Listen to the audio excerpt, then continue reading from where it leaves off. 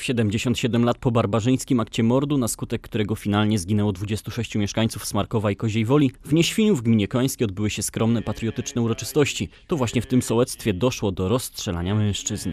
Cała sytuacja działa się tuż po tym, jak oddział Antoniego Hedy Szarego rozbił więzienie w Końskich. Po akcji partyzanci zostali przyjęci przez mieszkańców obecnej gminy Stąporków. Przebywali tam dwa dni, pomagając partyzantom. Ostatecznie hitlerowcy dokonali zemsty na mieszkańcach naszego regionu. Zginęli tylko i wyłącznie dlatego, że byli Polakami i w- ich, y, y, w ich domach, w ich wsiach y, stacjonował oddział Szarego przed atakiem na więzienie i po ataku na więzienie. Zaresztowano ponad 60 mieszkańców właśnie tych wsi, z tego y, 26 rozstrzelano za y, zamordowanie dwóch y, oficerów niemieckich y, koło Pomykowa. To byli 25 było mieszkańców Smarkowa i jeden mieszkaniec y, Koziej Woli.